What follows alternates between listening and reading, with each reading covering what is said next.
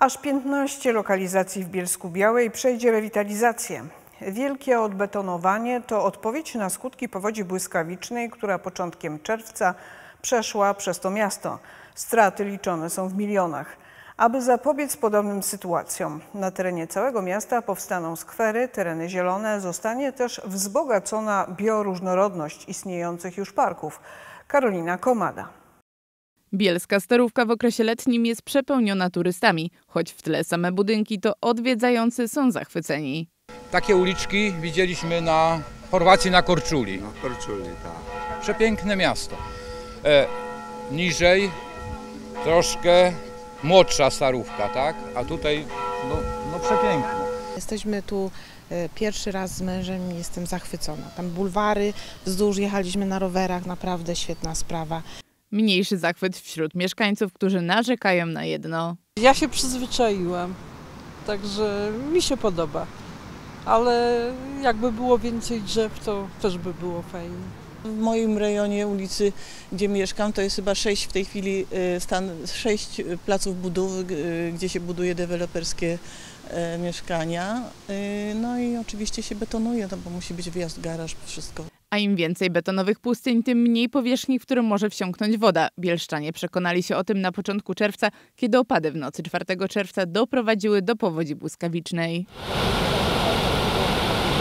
Po tych zaledwie kilkugodzinnych opadach władze miasta liczą straty w milionach. Te straty wyniosły ponad 18 milionów złotych i mówimy tu wyłącznie o mieniu komunalnym, a nie o stratach y, u osób fizycznych.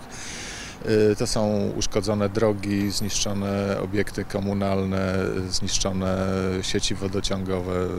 Podobnych podtopień może być więcej. Tego typu zjawiska są powodowane m.in. przez negatywne skutki zachodzących zmian klimatu, a także przez nadmierne wycinki drzew. Lokalni aktywiści i społecznicy są zdania, że można temu zapobiec. Jednak same odbetonowanie miasta nie wystarczy te zmiany skupione na odbetonowaniu miasta będą tylko takim e, listkiem figowym tych mhm. zmian, jeśli e, nie zaprzestaniemy wycinek i nie rozpoczniemy planowania przestrzennego, zabudowy miejskiej, inwestycji z uwzględnieniem drzew.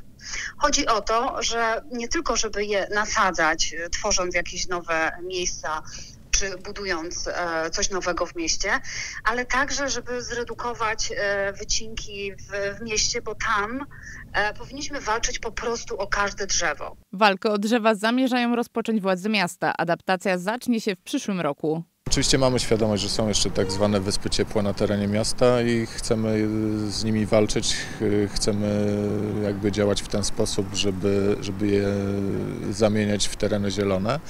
I temu ma służyć y, projekt, na który dostaliśmy dofinansowania. W całości będzie kosztował około 24 milionów, z czego 18 to jest dofinansowanie unijne.